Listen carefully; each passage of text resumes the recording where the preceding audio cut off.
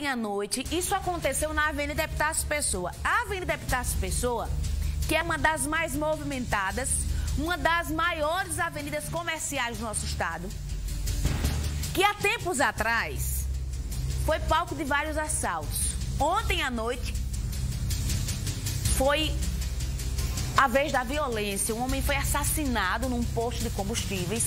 E quem vai contar essa história pra gente é Flávio Fernandes, que já está no local e vai trazer o detalhe pra gente. Bom dia, Flávio, é contigo. É isso, o crime aconteceu por volta da meia-noite neste posto de combustíveis que fica aqui na Avenida Epitácio Pessoa, o corredor mais movimentado de João Pessoa. E o que aconteceu foi o seguinte: de acordo com informações repassadas pelo vigilante à polícia, o estabelecimento comercial já estava fechado. Quando dois homens chegaram, o renderam e diziam que queriam o cofre do estabelecimento. Eles então começaram a procurar o cofre que estaria na sala da gerência. Lá atrás do posto tem um quartinho onde um homem identificado como João Evangelista, de aproximadamente 30 anos, dormia. Segundo informações, ele não era funcionário do posto, trabalharia para o dono, mas ele não passava o dia por aqui. Ele passava o dia fora trabalhando e apenas dormia aqui neste quartinho que fica atrás do posto de combustíveis. Acontece que os criminosos, no momento em que procuravam o cofre do estabelecimento foram até a parte de trás e encontraram esse quartinho.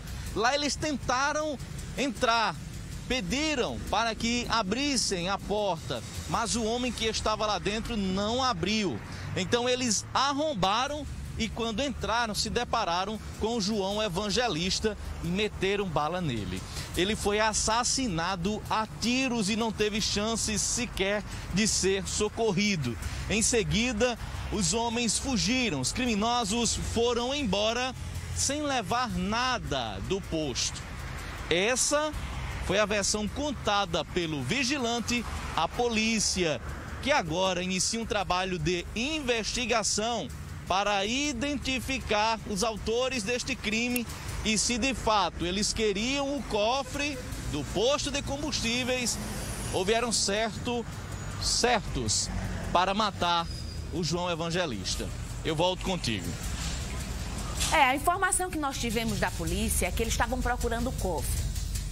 Como não procura, como não acharam o cofre e foram a esse quartinho e o João resistiu, o resultado foi esse aí, a morte dele. Agora, sinceramente falando, com a pouca experiência que eu tenho na área policial, tá um pouquinho estranho. Porque se eles quisessem explodir cofre e não encontrasse, ao menos o dinheiro do caixa eles teriam tentado levar. Como é que eles adivinharam que esse quartinho existia lá no, nos fundos do posto. Das duas, uma.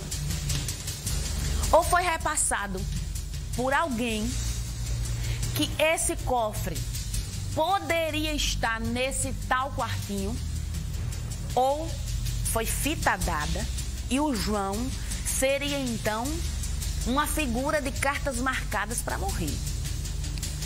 Porque no mínimo é esquisito. Como é que vão assaltar, roubar não levam nada e acabam matando um rapaz que não tem nada a ver com o posto, que só dorme no local, que inclusive nem trabalha lá, só trabalha para o proprietário do posto. Essa história está esquisita e a polícia precisa investigar afinco.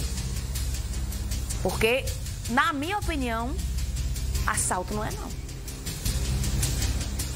Olha, eu tenho agora em Bahia, tá?